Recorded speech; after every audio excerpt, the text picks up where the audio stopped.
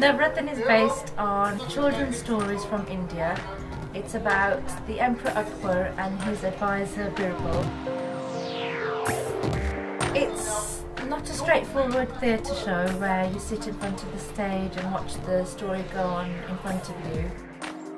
So we've tried to find interesting things that children will enjoy and bring them together and it's all interwoven in this interactive piece.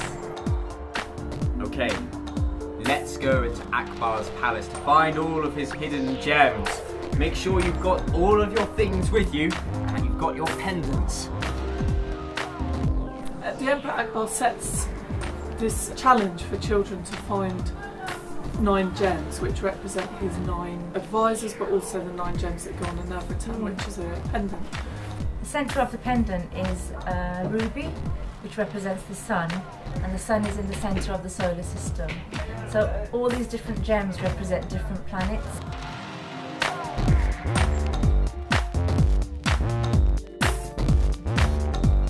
Was a patron of the arts, so he supported artists. He had over 100 artists in his school um, creating miniature paintings. He was really liberal, he translated Hindu scriptures even though he was Muslim. He was very tolerant of other religions.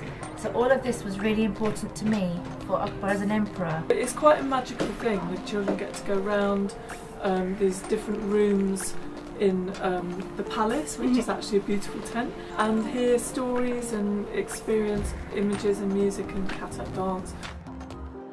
In Akbar's court, part of the entertainment was to have uh, Kathak dances in particular. We run a, a very short and sweet Kathak workshop um, with a short performance with puppets. We really have a three-dimensional element to a story that you normally just read in a book.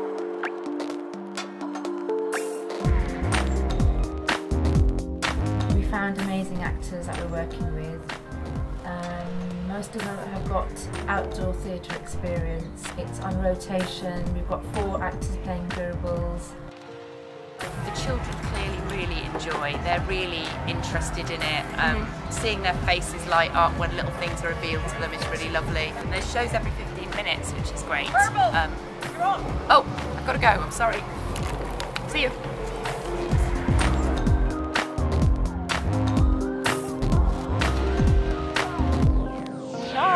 It was amazing, so original. Yeah, never um, seen anything like it before. It's really good.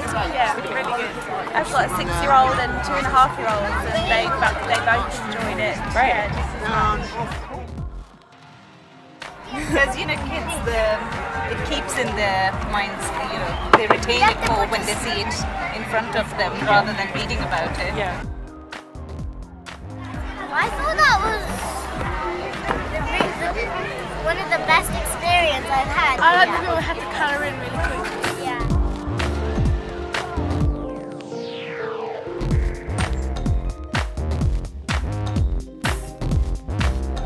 I just think the whole thing about the, the collection of the gems and the sort of the, the mystery as you go move around, uh, it's, it's great. The kids loved it. Yeah. Favorite bit I think was meeting the, the, the main man at the end.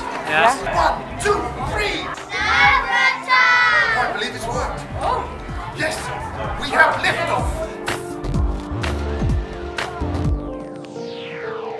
This year we've, we've performed in three different melas around the country and the audiences that we've taken the show to have all been very different. It was really important for us to make this show to promote Akbar and Birbal stories, to introduce children to these ancient arts that have been going on for hundreds of years and their ingrained traditions that are in them and for something that their parents can relate to and for their grandparents to relate to. As always, the dancer that pleases the Emperor the most will be generously rewarded. It's children's specific show. There's not that much children's specific work in the outdoor sector. I think it's very important for the Melas that the Melas are experiencing some more in-depth and quality theatrical work within the Mela programmes and I really hope that this goes on to have more work in that way. It's really nice for people who wouldn't normally see something like this, who haven't got the concentration span, who will never know about a show like this, who would see a poster and ignore it, for us to physically bring them in to see this show and for them to come out saying, oh my god, I can't believe what I've just seen.